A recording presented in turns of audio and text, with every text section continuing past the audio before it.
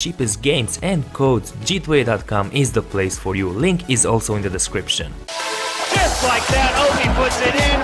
One, two, three. He makes it quick and easy. Fantastic goal, really it was. Managed to slide through. Oh, he's got a man for a goal here. It's a stunning goal from Ovvy. Hey fellas, how's everyone doing? My name is Ovvy and welcome to a new video. In this one I'm gonna teach you how to defend properly in FIFA 17. EA Sports has added a lot of new features into the new game but unfortunately no new defending feature. So we're gonna have to get back to those overpowered FIFA 16 techniques and see how they work now in FIFA 17.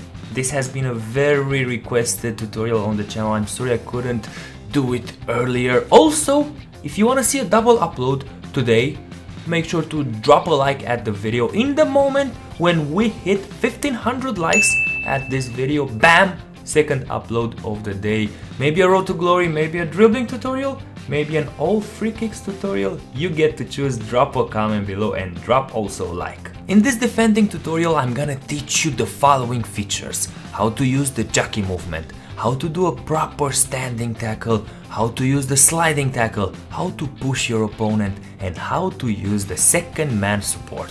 First let's see the controls for each move. To jockey you will have to press and hold LT on your Xbox or L2 on your PlayStation. To do a standing tackle, press B on your Xbox or circle on your PlayStation controller.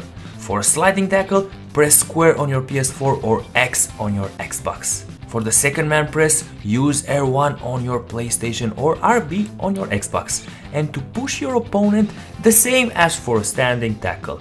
B on your Xbox, circle on your PlayStation, but press them while running. Now that we have explained the basics, let me tell you how each of these work in game and when and how you have to use them. What you need to keep in mind is that the best way of defending is by using the jockey movement. And let's take this example here.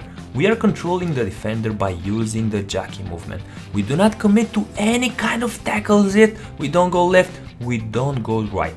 We just wait for the striker to get closer to us and only then we do a standing tackle and take the ball from him.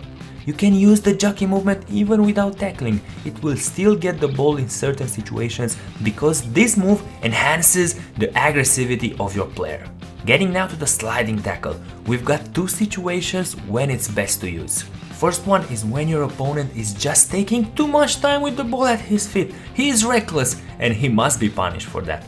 But if you would wait to get close to him and do a standing tackle, maybe he releases the ball. That's the moment when you do a sliding tackle play aggressive and get the ball back. Second scenario is when you have absolutely no other choice. If you don't do something then the opponent will score a goal. Keep in mind that sliding tackles work best when you are in front of the opponent or on his right or left, never from the back. As you've seen in this example, the tackle was perfect and we managed to save a goal. Let's move now to the second man press which is a very effective defending technique. You will use a second defender to press the opponent while you control your player and try to apply pressure and intercept the ball.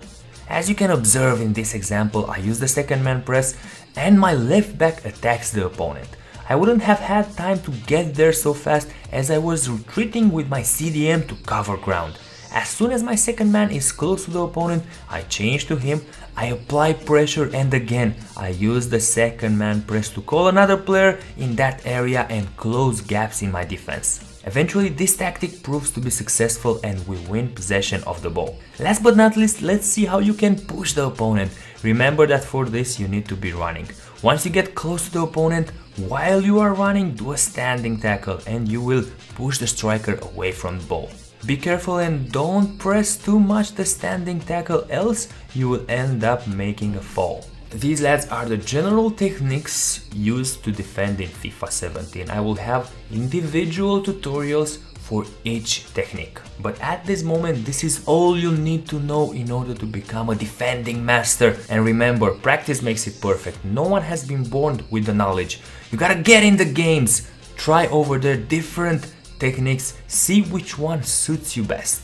This wraps it up for today lads, thank you all for watching, subscribe for more awesome FIFA videos, remember 1500 likes and I'm gonna upload another video today. My name is Ovvy and I'll see you guys later.